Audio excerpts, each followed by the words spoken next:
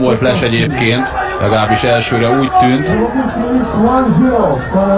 És hát a fiatalság, a gyorsaság, az most nyert a rutinnal szemben ennél a kiugratásnál. Skorc is, Kamber is csak üldözte. Bravo! Egyenlít a Honvéd! Jól van, lehet enne volt Bozsinovszki kapus, de kit érdekel? Hatalmas góllal egyenlít a Honvéd.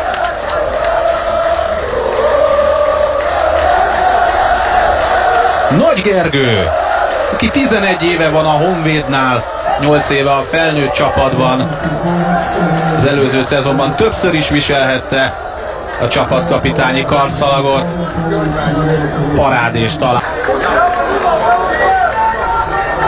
Jött a beadás balról. Sárkoszki a gólszerző.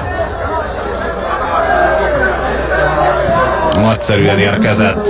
Hát ezt a labdát el kellett volna rúgni.